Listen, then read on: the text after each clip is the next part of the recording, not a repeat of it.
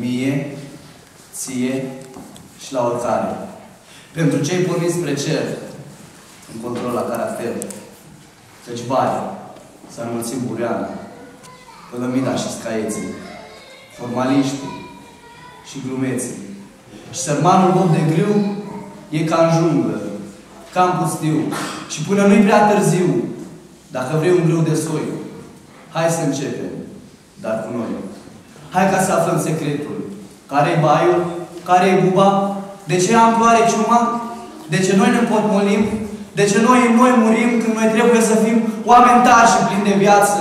Oameni sfinți și cu speranță în acel ce a înviat, în acel ce ne-a salvat și cu Tatăl ne-a împăcat. Ce se întâmplă de frăția noi cum trebuie să fie și nu nici credință vie și nu nici satornicie. Nu cumva la noi e bai? Nu cumva e chiar la mine?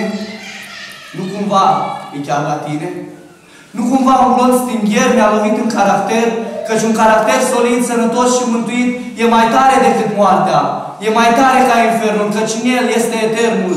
E tezaurul ceresc, Duh din Duh Dumnezeesc, ce neprihănire cresc. De ce e multă neputință? De ce e multă milogeală, sărăcie, bol, cerșeală? Când stăpânul cel slujim e bogat și sănătos și nu-i nici neputincios. Tot ce noi nu avem, El are. E stăpân peste hambare. El e o binecuvântare. El te face sănătos dacă ești și credincios. Altfel, vei rămâne în boală, să distrugă ce-i spoială, să te facă grâu curat, dacă te lași prelucrat de stăpân cu adevărat. Căci dând vina tot pe alții, dar de fapt suntem la fel, nu o să folosim nimica. Dovedește tu ce vrei. Sfântul ne sfințește locul. Dacă noi nu îl sfințim, trebuie în mare grabă noi, noi să ne repocăim.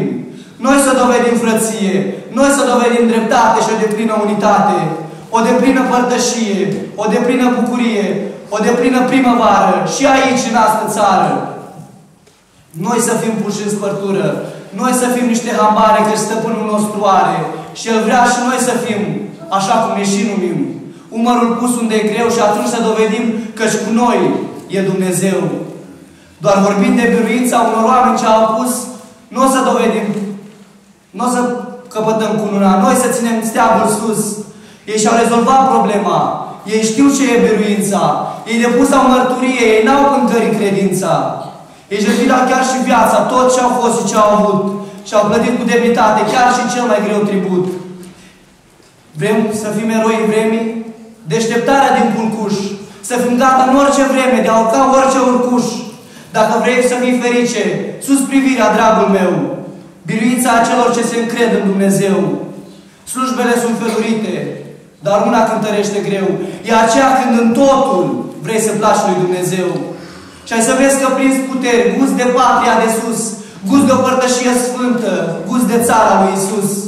Ai să vezi că neputința pleacă din căminul tău, pleacă boala, sărăcia, pleacă tot ce a fost mai greu.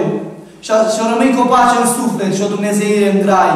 Și umblând aici cu Domnul, vei fi în veșnicii cu rai. Dar notați, dacă în NATO nu s-a intrat oricum, să nu crezi că în rai se intră burenos ca până acum. Dacă aici pentru mai bine, cât de multe ni se cer, câte forțe se implică ca să schimbi un caracter, să nu ne înșelăm cu crezul că în rai se intră oricum. Raiul se începe aici. Pregătirea e acum. Când trăiești în trupul acesta, dovedește cine ești.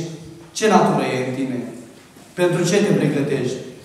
Pregătirile sunt multe, dar una cântărește greu. E aceea când în totul vrei să placi lui Dumnezeu. Toate trec cum trece vremea și într-o zi vei fi răpus. Dar de ai fost un sfânt în viață, te va întâmpina Iisus. Căci Iisus e veșnicia. El, Iisus e viitorul. Căci Iisus este viața. El ne este salvatorul. Verifică-te acum. Tu comunici cu Iisus? Duhul Sfânt te pregătește pentru patria de sus? Pregătește de acum când, până încă nu-i târziu. Până inima îți mai bate, până încă mai ești viu. Prelucrează-ți caracterul. În așa fel, dragul meu, ca în el stăpân să fie nu Satan, ci Dumnezeu. Și atunci vei privi finalul vesel, chiar și bucuros, că își te așteaptă veșnicia pregătită de Hristos.